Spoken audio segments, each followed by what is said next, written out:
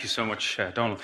And listen, it's fantastic to see you all here uh, at the college and fantastic speeches, uh, and uh, really, it was like a wonderful evening. I'm not going to keep it for very long. I'll tell you first just a little bit, yeah, about um, who I am. I'm a, I'm a consultant in the matter, and I spend a lot of my time taking care of people with lung disease, but I also cover the emergency department, so I see people coming in every day, and I saw them today, people coming in with the conditions, I suppose, that afflict the human. And uh, there are many things that I see. I see people with lifestyle conditions. I see people with cancer, with heart disease, with strokes, and these people are coming in every day. But the one thing I suppose that often strikes me most, really, that you don't hear said is, is frailty. The frailty is a, is a human condition. And frailty can mean many, many different things. You can be frail when you're young, you can be frail when you're old. But one of the things that, that does is it leaves people less resilient. And resilience is a thing that Eamon talked about, and I think is really important that as a medical profession we start to think a little bit more about resilience.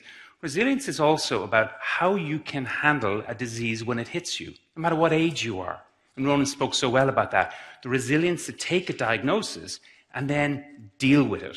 And so many of us are getting older, we're living longer, we've heard that, but we're getting to older age less resilient than we need to be. And so, because of that, one of my passions is to see, as a doctor, how can I pass on the messages that medical science has brought to us to date that will impact upon people so that you will get older, more resilient, less frail, more able to enjoy life as we get older. And because of some of those thoughts, I suppose you think, well, wouldn't it be great? Scientists are always looking for a drug that might be able to give us that a drug that could prevent disease and a drug that could treat disease when it came along. But in fact, there's something right underneath our noses that you've heard about tonight very, very clearly, and particularly from Eamon's call to action, that in fact exercise, and we've called this new um, uh, uh, policy document that we've come out, we've called it called that we've got a new wonder drug. And we call it a wonder drug because people are always looking for that, the magic bullet. But you know what? Exercise and physical activity is a wonder drug. It can prevent disease. So, in the first instance, being more physically active prevents disease. It reduces your chance of heart disease by 30%. It reduces your chance of diabetes by 30%. It reduces your chances of dementia that Ronan talked about by 30%. There aren't any drugs that we have that can do that for you. The other thing it does is when you get a disease, how you deal with that disease is impacted upon how you use physical activity. So that if you do have dementia, physical activity, being more active, exercising, can reduce the impact of that disease and delay its progression. Same for diabetes, same for hypertension. You can your doctor tells you you have hypertension, but guess what? Being more physically active will reduce your systolic blood pressure by anywhere from 5 to 10 millimeters of mercury, which might be, the difference between going on an extra drug and so on. And similar for cholesterol. So many things. Even cancer.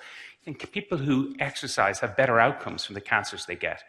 Exercise actually prevents or reduces your likelihood of breast and colon cancer by 30%, believe it or not, or even more than that in some studies.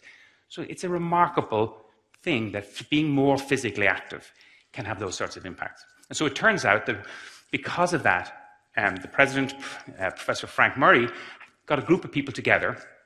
Said, would you not move forward an advocacy group on this whole area. We've done it in alcohol, and it's been very successful in that area. We've now done it with the obesity. How about with physical activity? Can we move this area forward? As physicians, we're not vest- we've no vested interest, but we have experience because we see what's going on in the emergency rooms, we see what's happening to people, and we share people's illness and their lives and so on.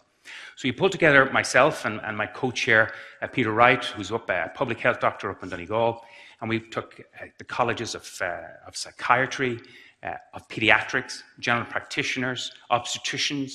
Uh, we took some uh, physiotherapists. We took a lot of people together into a room, medicine for the elderly. And so we put them all into a room and we start working on this policy document. And today we announced it. And we're very proud of that because it's all of the evidence that's out there at the moment that supports the idea that being more physically active can make a difference to people's lives. And we've chosen three targets that we have uh, for this, and we call it the three Ps. And the first of those Ps is our own profession. So we're going to look at how we train doctors in Ireland, and we're going to look at the curriculum, and we're going to make sure that it, in every single college that we're working with, that it includes some training, like Eamon said, in the whole area of physical activity, what it can do, how you engage with patients on it, and how you can help people to bring it into their lives. So we're going after our own profession, we're, we're surveying the profession, we're going to make changes there. The second P that we're going after is policymakers. And we were delighted today to have the Minister, uh, uh, Minister Corcoran Kennedy, who turned up, and she was fantastic, really supportive, spoke off the record very positively about what we're doing as well. But we're going after policymakers. They're the ones who can really make the change. And things are happening, they really are. But we need to be able to go in there as independent people, as physicians, and say, look, here's the data for you. This is how much it's costing the country right now with the lifestyles that we're going down and way we're living we change our way, we're going to save a lot of money. We're going to save a lot in chronic ill health in years to come. And then the third P, the third group, are you, the population at large, and a message. What's the message? And the message, I think, couldn't really say it better than, than the way Eamon said it today. The impact of physical activity, you don't have to be an Olympic athlete, but you can learn a lot from an Olympic athlete. The way that you approach it, that you do have to have a routine you do have to think about putting physical activity into your life. Your age makes no difference whatsoever, and you've heard that very clearly from, from, from Eamon. In fact, the older you are, the more, li- more likely you're going to get some benefit from it and reduce your chances of falls, reduce your chance of frailty.